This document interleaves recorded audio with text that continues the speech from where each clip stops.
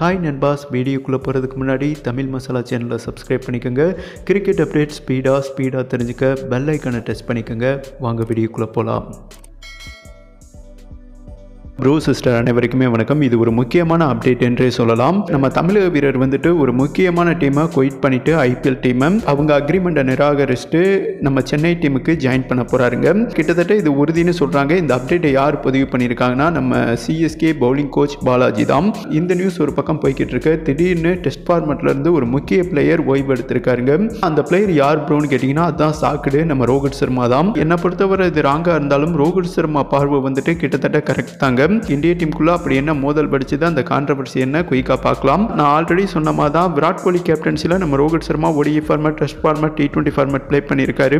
இந்திய cricket board ரெண்டு நாளைக்கு முன்னாடி ODI format T twenty format Rohit Sharma தான் கேப்டனாக இருப்பார். விராட் கோலி கிட்ட கேட்காமையே நம்ம கங்குலி முடிவு எடுத்துட்டாரு இந்திய கிரிக்கெட் போர்டும் விராட் கோலிக்கு இவங்க முடிவு பிடிக்கலங்க. நான் கேப்டனா இன்னும் அவ்வளவா சாதிக்கல. ஃபிஃப்டி ஓவர் வேர்ல்டு கப் எனது தலைமையில் வின் பண்ணணும். அதுவரை ஓடிஏ ஃபார்மேட்டில் கேப்டனா கன்டினியூ பண்ணுறேன்னு கங்குலி கிட்ட கேட்டிருக்காரு. கங்குலி வந்துட்டு திட்டவட்டமாக நோன்ட்டாங்க. ரீசன் கேட்டிங்கன்னா இந்திய டீமில் இருக்கும் சக பிளேயர்களே விராட் கோலி கேப்டன்சி சரியில்லைன்னு கம்ப்ளைண்ட் பண்ணியிருந்தாங்க. அவங்களோட அப்ரோச் என்ன பண்ணியிருந்தாங்கன்னா test format Virat Kohli captain பண்ணட்டும். அது எங்களுக்கு எந்த ஒரு இடைஞ்சங்களும் இல்லை.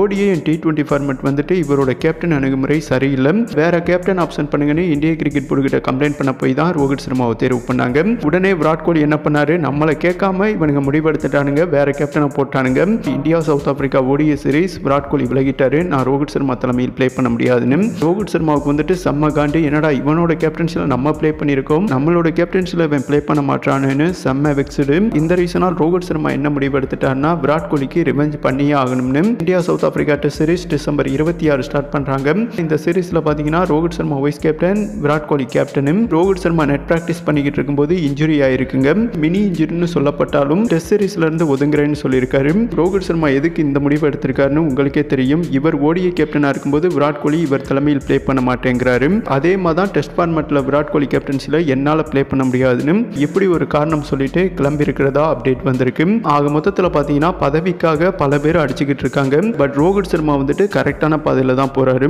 விராட் கோலி தான் கொஞ்சம் விட்டு கொடுத்து போயிருக்கலாம் போகல. அதனால தான் இவ்வளோ பெரிய பிரச்சனை. இந்த ரீசனால் India South Africa test series நம்ம ரோஹித் சர்மா ப்ளே பண்ணுவது மிகப்பெரிய கடினம். நெக்ஸ்ட் வந்துட்டு நம்ம ஐபிஎல் மேட்ருக்குள்ளே போயிடலாம் அஞ்சு வருஷத்துக்கு அப்புறம் சிஎஸ்கே டீமில் மீண்டும் ஒரு முக்கியமான தமிழன் ஜாயின் பண்ணுறாரு நம்ம தமிழக வீரர் அஸ்வின். இந்த அப்டேட்டை யார் சொல்லியிருக்காங்கன்னா பாலாஜி தான். ஆல்ரெடி இதற்கு முன்பு ஒரு வீடியோ அப்டேட் பண்ணியிருக்கேன். நீங்கள் பார்க்கலைன்னா பாருங்க. ஐபிஎல் வீடியோ தான். அகமதாபாத் டீம் வந்துட்டு விவேகமாக சிந்திச்சிருக்காங்க. நம்ம இந்திய கண்டிஷனில் ஸ்பின் அட்டாக் வேற லெவலில் எடுப்படும்.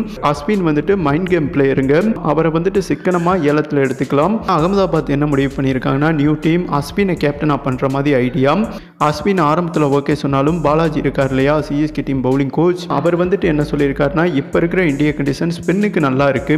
அஸ்வின் மாதிரி ஒரு ஸ்பின்னர் சென்னையை அன்னைக்கு டெஃபினட்டாக இருக்கணும் என ஆலோசனை பண்ணியிருக்காருங்க. சென்னை டீம் மேனேஜ்மெண்ட் அஸ்வின் கிட்டையும் பேசியிருக்காங்களாமாம் சென்னை டீம்னா கண்ணை முடிக்கிட்டு அஸ்வின் ஓகே பண்ணிடுவாரு அவரோட சொந்த ஊர் இல்லையா?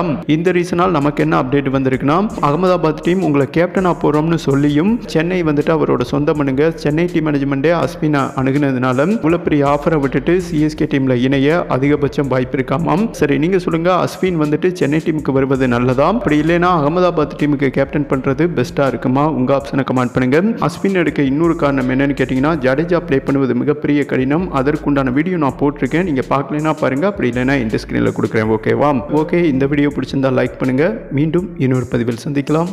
நன்றி.